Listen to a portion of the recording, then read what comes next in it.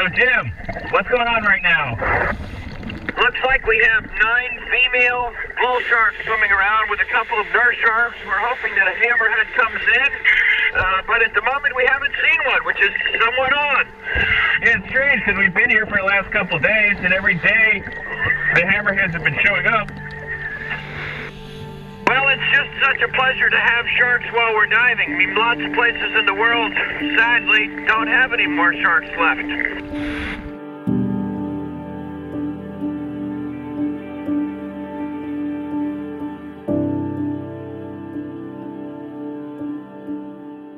It's recording.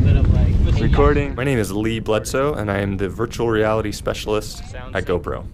On this Swimming with Sharks expedition, our VR team was tasked to capture sharks in their natural environment. Our goal was to show that these so called man eaters are not what the media makes them out to be. So here we are, beautiful Bahamas in, in the island of Bimini. You can see we're a long distance offshore, quarter mile, uh, where we can obviously do all the things that we intend to do. Uh, no, no shark harassment. Don't hold, restrain, hug, kiss, uh, ride any shark, please. So let's just let the shark go wherever it wants to go, and uh, have a wonderful dive. Sound good? Sounds awesome. Yeah. All right, let's go do it. The Abyss is an underwater camera housing for spherical cameras made by our partner company, Kolor. This is the only camera in the world like this because we placed our sync technology inside of it. This allows us to get perfect sync between all of the cameras. Another unique aspect of the Abyss are the large dome ports. The reason they're so big is because they allow a really big pocket of air in front of the camera, and that pocket of air allows us to transition seamlessly between above water shooting conditions and underwater shooting conditions without encountering any distortion of the image.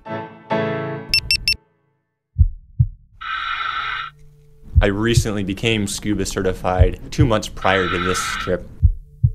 Gotta wait for him, right? I gotta wait for him, right? On our first dive on this trip was only my sixth dive ever.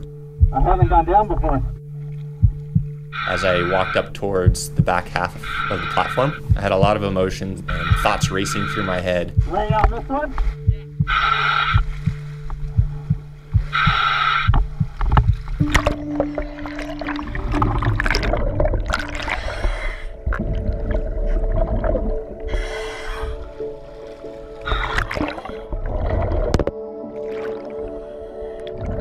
As soon as I stepped into the water, though, my mind settled down and I went into, all right, this is work mode, and then it sort of went into a meditative state.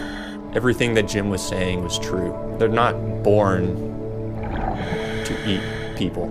Yes, there are these really big sharks all around me, but never once did I feel like I was in any sort of danger. I mean, it was surreal to be down there and be able to reach out and actually pet a shark and still have all of my fingers. I really want to show people that human beings can interact with sharks in a super safe way, which then, you know, hopefully when they see that, they're like, oh, well, it isn't Jaws. What I loved about the VR is it will give people the ability to experience what it's like to be in the water and watch these animals as they just kind of cruise around, really gentle, really slow, and it's actually almost beautiful. It's not, I wouldn't even call it an adrenaline thing.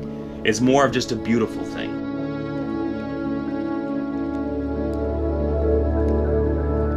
The goal through this and wanting to create this experience was that as soon as you put on the headset, you're instantly immersed in another world. This world that we're immersing you in just happens to be an underwater world full of sharks and and, and people. virtual reality, without a doubt, has the distinct capacity to show people what it's really like to be underwater with large predatory sharks, to show the true nature in a way that may even be better than being there at that time. And being able to experience sharks in this way, maybe we're able to change minds about these creatures, and maybe they're not as ferocious and man-eating as we've been led to believe. It's imperative that we all join forces and try to protect our oceans animals, especially the apex predator that's in control of maintaining the health of our oceans. Virtual reality has the distinct ability to do that without ever taking them to the ocean.